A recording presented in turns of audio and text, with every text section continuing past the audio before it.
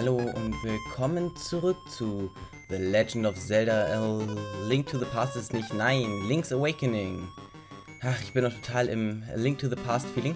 Ähm, wie ihr sehen könnt, habe ich jetzt schon vier Rubine mehr. Ich hatte ein bisschen, ja, was geguckt und bin dann aus Versehen hier hin und dann war hier eine Eule und diese Eule hatte dann gesagt, oh, hu, hu, hu, denk dran, du musst noch in den Sumpfpalast. Ja, mache ich. Habe ich dann mehr so gedacht, ne? Deswegen also nicht wundern. So, gut. Ähm, Tamarchen, Schleimsumpf. Dann gehen wir mal hier hin. Hier kommen wir leider noch nicht lang. Ja, und wir brauchen dieses liebe nette Ding hier noch.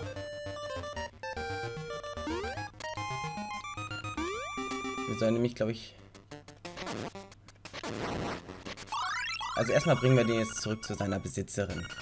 Und wir haben natürlich wieder eine Götterarmhorn. Ach, ich mag die Melodie gar nicht.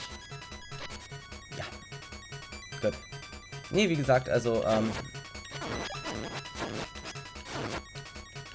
Ich habe halt jetzt vier Rubine mehr. Ich denke mal, aber das sollte nicht stören. Es war, wie gesagt, ein kleiner Fehler, wo es dann halt mal, ja... Passiert ist, dass dann... Ne? Genau. Seht ihr auch so, ne? Gut, und während wir jetzt mit Struppi bzw. diesem tollen Kettenhund spazieren gehen und zum Beispiel immer noch nicht wissen, wo wir diese Banane, also die Dose haben wir ja schon abgegeben, ne? Die Banane hinbringen können. Ich suche eigentlich dafür, glaube ich, einen Affen oder so. Ein Affe wäre eigentlich ganz passend für Bananen. Aber den letzten Affen, den wir ja gesehen hatten, der war ja irgendwie, ja, viel am Platz. So, dann gehen wir hier mal rein. Oh, danke, danke. Du hast mir den kleinen Struppi zurückgebracht. Aber könntest du mit ihm kurz Gassi gehen? Ich bin gerade etwas unpässlich. Du machst es? Oh, vielen Dank. Also super. Toll, jetzt haben wir noch diesen tollen Struppi am Hals. Jetzt gehen wir mal ein bisschen Gassi mit ihm. Äh, ich kann mich noch erinnern, dass man den nämlich für etwas Spezielles braucht und deswegen nehmen wir Struppi jetzt mit glaube nämlich, ohne Struppi kommt man nicht in den nächsten Dungeon.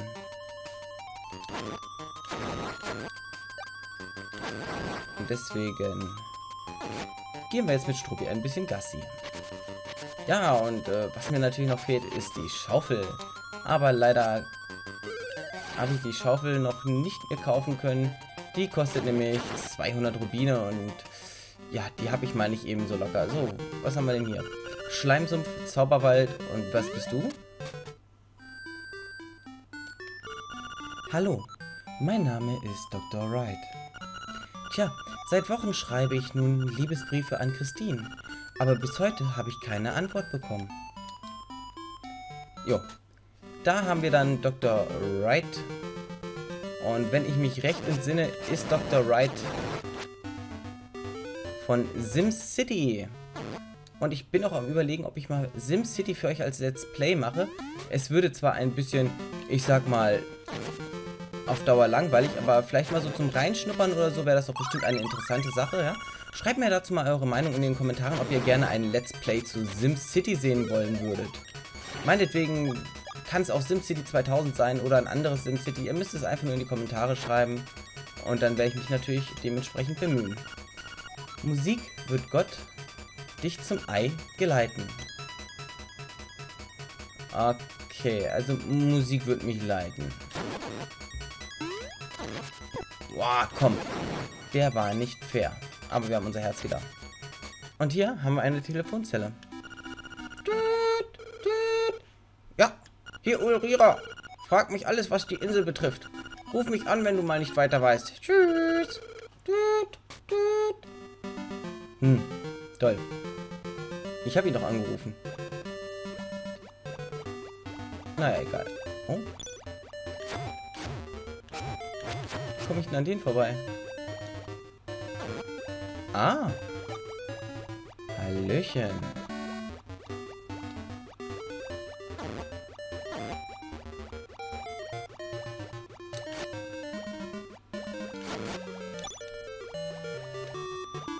Mach den kaputt, komm. Danke. Wow. Das war knapp. 50 Rubine, damit sind wir bei 180. 180 Rubine. Glatte 180 Rubine. Und hier sind wir, glaube ich, dann schon beim Sumpfpalast. Wenn Struppi jetzt... Oh, toll. Ich wurde natürlich erwischt. Kommst du mit, Struppi? Level 2. Gin-Grotte. Zu schwer mit bloßen Händen wirst du das nicht hochheben können. Also, ich habe schon die Vermutung, was wir hier bekommen werden. Äh, ich glaube, die meisten von euch können sich auch schon denken.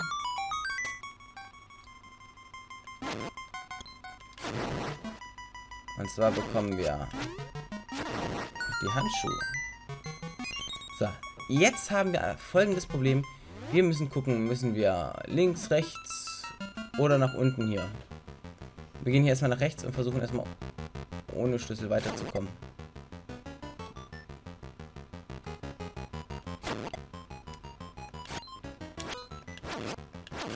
Gut. Woran hat mich dieser Maskenmann jetzt erinnert? Hm. Gut, hier dürfen wir springen. Das heißt... Ah.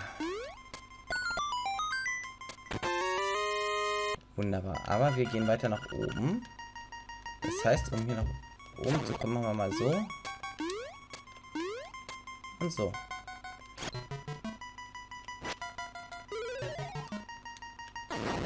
Hahaha. Die sind doch sehr ähnlich wie... Komme ich da an? Gut. Gut, gut. Also, dann müssen wir wieder zurück.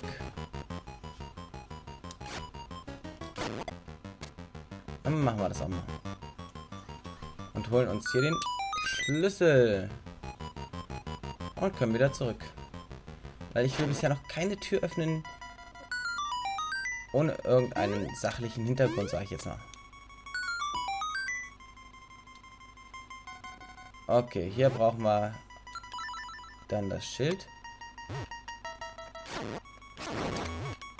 Na, nicht mit mir. Und dann gehen wir hier durch die Tür. Oh, oh, oh, oh. Ja, ich weiß. Und hier heißt es jetzt reinschieben. Dafür stehen nämlich wahrscheinlich diese Symbole. Und dann kommt man hier in... Okay, hier brauchen wir dann die Feder.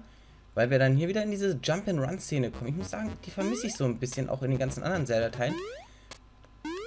Sie wurde zwar später eingefügt, aber ich meine halt in diesen 2D-Zelda-Teilen. Ne? Ansicht von oben. Das war immer, muss ich sagen, angenehm. Hm. Ja. Gehen wir einfach mal durch. Oh, servus.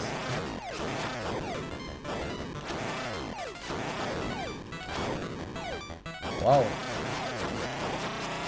Wow, wow, wow, wow. Das war ganz schön knapp, Leute. Ganz schön knapp.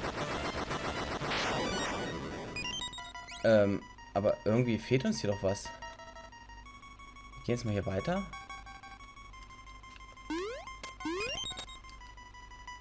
Ach, da war eine Fledermaus, die habe ich gar nicht gesehen.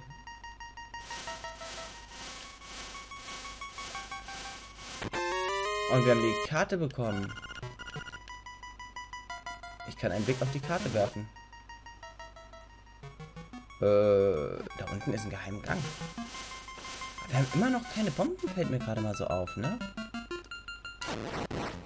So, das lassen wir aber erstmal in Ruhe da oben. Weil, wenn ich richtig... Genau, wir haben 20 Stück und 20 heißt, dass es voll ist. Also brauchen wir da nichts machen. Boah, Ähm. Ah, Mann.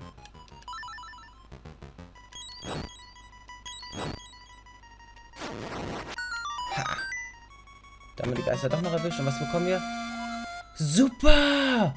Du hast das Kraftarmband gefunden. Damit kannst du Steine und Vasen heben. Muss ich das jetzt... Oh, das muss man extra anlegen. Ist doch jetzt echt ein Witz, oder? Nun gut. Und wir sind wieder im typischen Zelda, wo man Sachen hochheben kann. Yippie! Ist zwar nicht ganz so typisch Zelda, weil wir hier so viele noch andere Sachen machen müssen, aber... Und tschüss, liebe Fledermäuschen. Okay, hier müssen wir jetzt wieder rüberspringen. Ähm, ja. Man muss es auch auswählen. Also, klar, es ist ein Gameboy-Spiel, aber das hätte ja nicht unbedingt so enden müssen, ne? Gut, dann gehen wir jetzt erstmal zurück in diesen tollen Teleporter, womit wir zum Anfang des Levels kommen. Oh, ja. Und am Anfang des Levels können wir jetzt hier nochmal 50 Rubine abstauben. Das ist doch... Und jetzt machen wir hier ein bisschen die Einrichtung kaputt.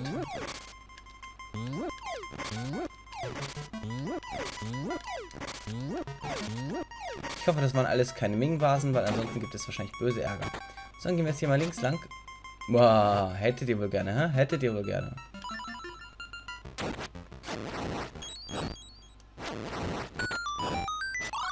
Oh, und du hast noch einen Teil der Macht erhalten. Na, wenn das nicht.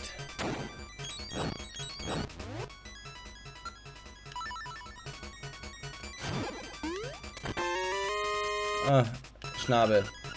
Gut, der Schnabel hilft uns dann natürlich, so wie in den anderen Teilen Sahasralla. Wer sich noch an Sahasralla erinnern kann. Das war der alte Kauz, der uns dann immer in patschigen Situationen geholfen hat. Ich möchte jetzt gerne wissen, behalte ich die Schlüssel? Ich glaube fast nicht. Deswegen holen wir uns dann doch mal ganz kurz hier unten, wovon ich ausgehe. Äh, Kompass. Äh, wie kriege ich den jetzt? Ha, so. Ja, ja, ja, ja. Und der Kompass. Der hat uns noch gefehlt.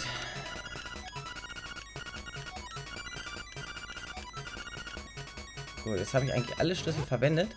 Aber ich möchte natürlich noch wissen, was hier drunter ist. Ah, seht ihr? Da drunter ist Bares. Und nur Bares ist Wahres. Gut, dann kommen wir jetzt hier wieder zurück. Ich könnte jetzt hier nochmal alle hochheben, aber das erspare ich euch jetzt. Wir wollen ja auch gegen den Endboss antreten.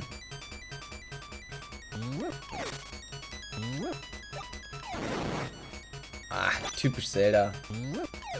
Wir werfen einfach mal was auf die... Oh. Ja, typisch Zelda. Wir werfen was auf den Gegner und werden selber getroffen. Jetzt muss ich gerade mal gucken. Wenn ich da die Treppe hochgehe, wo komme ich da raus? Und da ist noch eine Truhe. Das heißt, dann nehme ich... Doch hier den Weg.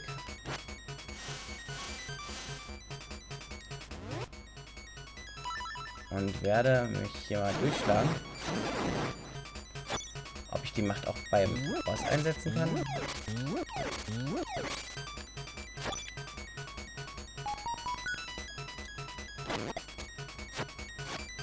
Das war ja jetzt sehr simpel. Was passiert, wenn ich jetzt hier lang gehe? Okay, also hier muss ich dann hier rüber.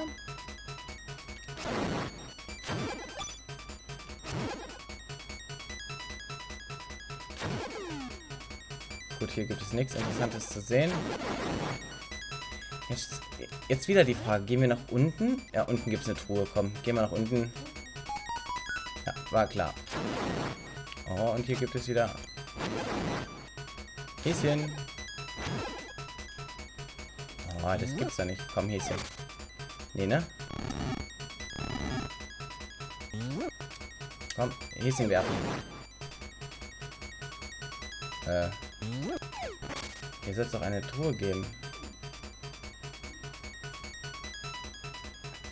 Oder ist das hier dann eine Truhe? Das kann ich ange... Ah, das kann sein, dass auch hier die Truhe ist. Okay.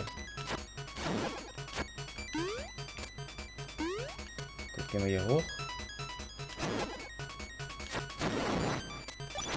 Interessant finde ich auch, dass man hier so... Moment, da muss doch irgendwo ein Haken sein. Hä? Warum? Ah ja, nee, ist klar.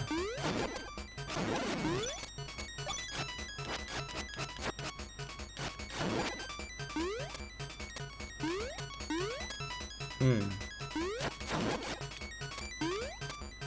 Aber wo ist jetzt hier die Truhe?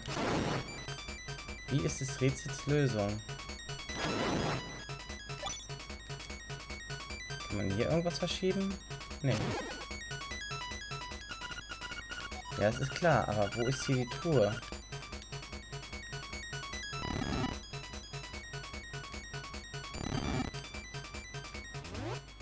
Äh, ja. Kann man die nach außen verschieben? Äh. Gut, dann lassen wir halt die Truhe hier mal sein. Gehen hier weiter.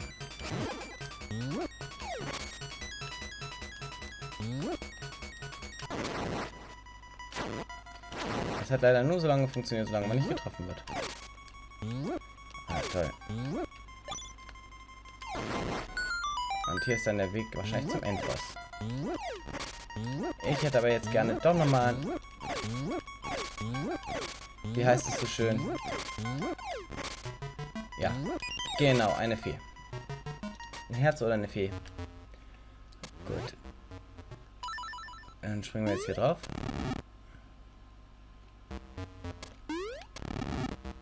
Schade, dass man diese Vasen nicht wie bei Zelda auch zerstören kann. Also. Ach, nee, ne? So, er sagt, mm -mm, du bist mir zu leicht. Also nehmen wir dann die Vase mit. Und können dann hier hoch. Und dann sind wir auch schon beim Boss dieses Dungeons. Äh, stimmt, wir haben den großen Schlüssel gar nicht. Dann wird das der große Schlüssel sein. Aber wie kommt man da ran?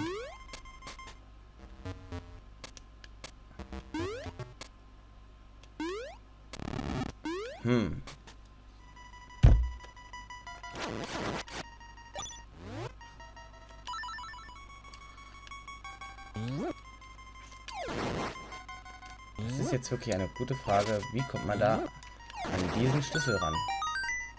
Der da unten sein muss. Aber wie? Muss man den Hasen vielleicht verzaubern? Kann ich mir jetzt eigentlich gar nicht vorstellen. Verzaubern wir mal den Hasen.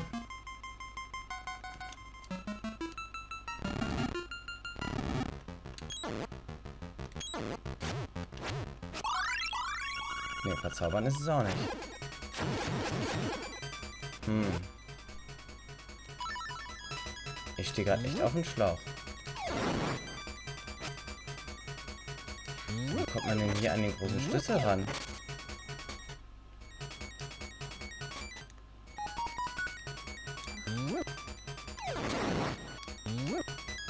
Wollt ihr mich alle auf den Arm nehmen? Schieben wir mal das Häschen zusammen. Hier geht auch nicht.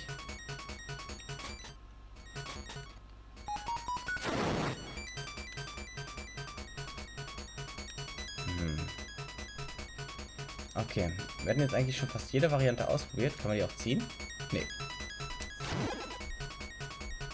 Hm.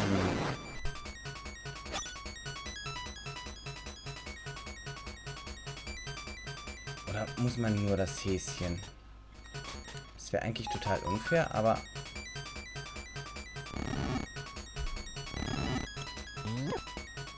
Wundern würde es mich nicht. Die Reihenfolge. Die Reihenfolge ist wichtig, Leute. Erst das Häschen, dann die Fledermaus und dann den bösen Typen. Da muss man erstmal hinterkommen. Also.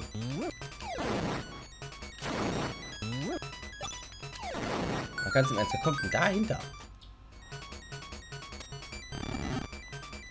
Also Nintendo Respekt, dass sich sowas einfallen lässt. Wirklich. Und... Zonk. Gut, dann können wir jetzt zum Boss. Tut mir leid, dass es so lange gedauert hat. Ich habe das nicht mit Absicht gemacht, aber das ist halt nun mal Truppe. Harr, harr, harr, willkommen zur Henkersmahlzeit. Harr, harr, harr. Hallöle. Ähm, warte mal.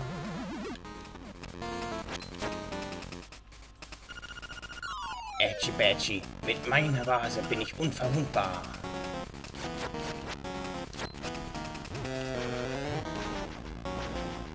Hä? Was zur Hölle muss ich machen? Ich kann mich nicht bewegen, aber ich bin unverletzt. Diese mickrige Schwert zerstört. Die Flasche nicht. Komm, ich werf dich gegen die Wand. Ätschi Bätschi, mit meiner Vase bin ich unverwundbar. Komm. Laber nicht, kämpf. Ich laufe hin und her. Hey. Es sieht aus, als ob er nur vier Kugeln hätte, aber dabei hat er massig mehr. Oh, du hast meine Vase zerstört. Das wirst du bereuen, du.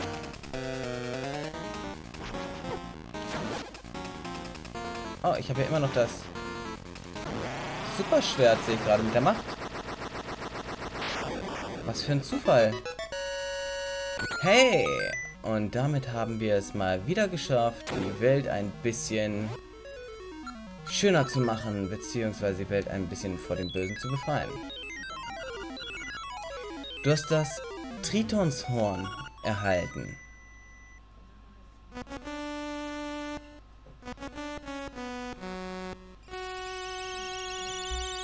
Und damit haben wir den nächsten Dungeon abgeschlossen und sind ein weiteres Schritt, ein, ein Schritt weiter, die Insel Kokolin zu verlassen.